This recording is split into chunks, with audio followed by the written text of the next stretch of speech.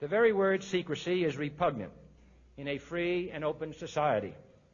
And we are, as a people, inherently and historically opposed to secret societies, to secret oaths, and to secret proceedings. We decided long ago that the dangers of excessive and unwarranted concealment of pertinent facts far outweighed the dangers which are cited to justify it.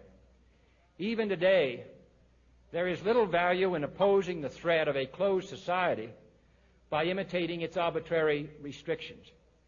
Even today, there is little value in ensuring the survival of our nation if our traditions do not survive with it. And there is very grave danger that an announced need for increased security will be seized upon by those anxious to expand its meaning to the very limits of official censorship and concealment. That I do not intend to permit to the extent that it's in my control. And no official of my administration, whether his rank is high or low, civilian or military, should interpret my words here tonight as an excuse to censor the news, to stifle dissent, to cover up our mistakes, or to withhold from the press and the public the facts they deserve to know. For we are opposed around the world by a monolithic and ruthless conspiracy that relies primarily on covert means for expanding its sphere of influence, on infiltration instead of invasion, on subversion instead of elections, on intimidation instead of free choice, on guerrillas by night instead of armies by day. It is a system which has conscripted vast human and material resources into the building of a tightly knit, highly efficient machine that combines military, diplomatic, intelligence, economic, scientific, and political operations. Its preparations are concealed, not published. Its mistakes are buried, not headlined. Its dissenters are silenced, not praised. No expenditure is questioned, no rumor is printed, no secret is revealed.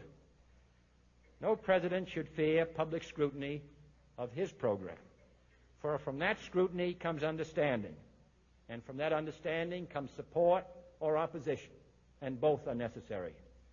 I am not asking your newspapers to support an administration, but I am asking your help in the tremendous task of informing and alerting the American people. For I have complete confidence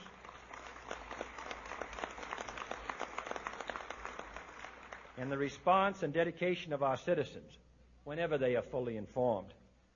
I not only could not stifle controversy among your readers, I welcome it. This administration intends to be candid about its errors. For as a wise man once said, an error doesn't become a mistake until you refuse to correct it. The report is that the president is dead. The word we have is that he is dead, that he was shot by an assassin at the intersection of Elm and Houston Streets uh, just as he was going into the underpass. The word we have is from a doctor on the staff of Parkland Hospital who says that it is true. He was in tears when he told me just. No way! We won't pay! No way! We won't pay! No way! We won't pay! No way! We won't pay! But everybody knows that we have paid. Obviously, we've already been paying for our water, but also over the last seven years, we've paid 31 billion euros in austerity measures. We've paid with health cuts, with education cuts, with welfare cuts, with pension cuts. We've paid with the household tax, with the property tax, with the universal social charge. And what have we paid for? We've paid for the biggest bank bailout in all of Europe. 41% of the European banking debt. We've paid 8 billion euros a year to the bondholders. And what we've paid for is a recovery. Not a recovery for the majority, not a recovery for working people, but a recovery for the rich and the super rich. The richest 300 people in this state, number three being Denis O'Brien, Ooh. They've increased their wealth in the course of the crisis by 60%. In 2010, they had 50 billion euros between them. In 2014, they have 84 billion euros. And that's the significance of the water bills, because they're asking us to pay again. And in saying no way, we won't pay, we're not just saying we won't pay these extra double, treble tax water charges. We're saying we're not going to pay the bondholders. We're saying we're not going to pay for the bankers' debt. And we're saying we're not paying for your recovery anymore. We demand a recovery for the majority. And the significance of it, it's much beyond the water charges, and everybody knows it. This country and politics in this country has been transformed by the anti-water charges movement. It's been transformed because after seven years of sellouts by the main trade union leaders, after seven years of betrayals by the Labour Party, people have stood up in communities, on the streets, in organisation, and have felt their own power. People have struck a blow against the austerity agenda, and people feel confident in a way that they didn't feel over the past seven years. And so we have to go on and actually organise for victory. This is organised by the Non-Payment Network. That's an attempt to bring together all groups who understand the importance of non-payment together.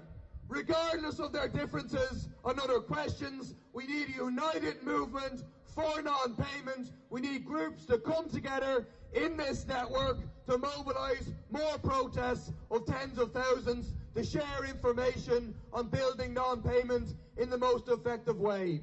And we need to keep our eye on the prize here. The prize is, in 10 weeks, 12 weeks' time, Irish water in absolute crisis.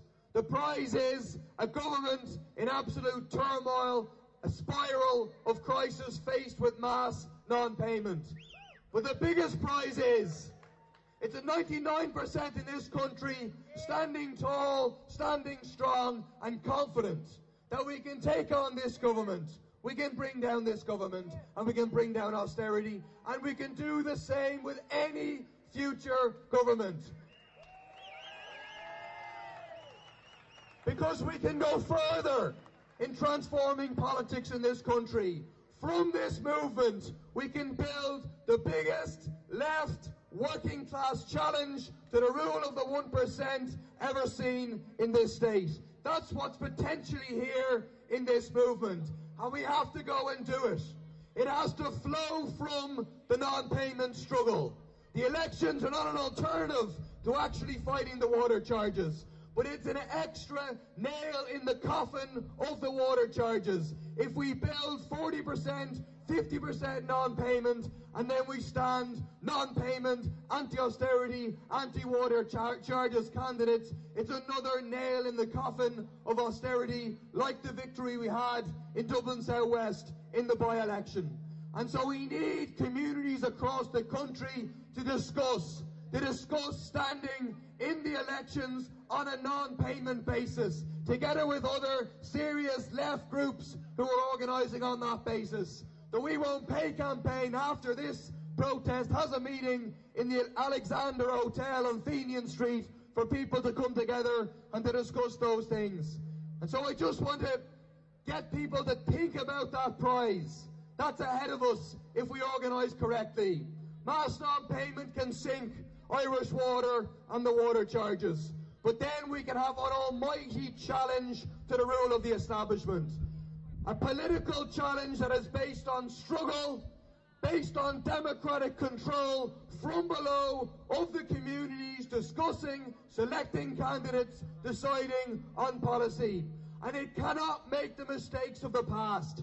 It can't be controlled from the top down. It can't be dominated by any section of a trade union or labour bureaucracy, and it has to be in principle against austerity. It has to say it cannot repeat the mistakes of the past of saying we'll go into government with pro-capitalist forces to take the edge off austerity. We're not interested in a slightly bigger slice of the cake here.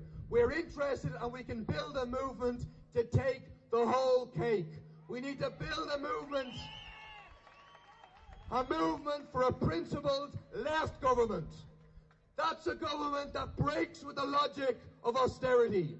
It's a government that breaks with the rules of the euro, with the rules of the EU that says we're not going to pay your debt and we'll stand up to whatever you do against us. It's a left government that breaks with the logic of capitalism.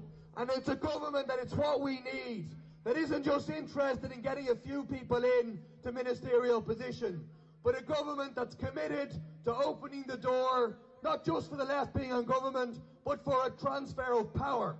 That's what we need in this country. We need to wrest power from the 1%, economically, politically, from the Denis O'Briens, from the bankers, from the bondholders, for a revolution in this country, for real, fundamental, and socialist change, for the power of the majority, and we can build a movement from the anti-water charters movement to do that. Thank you very much.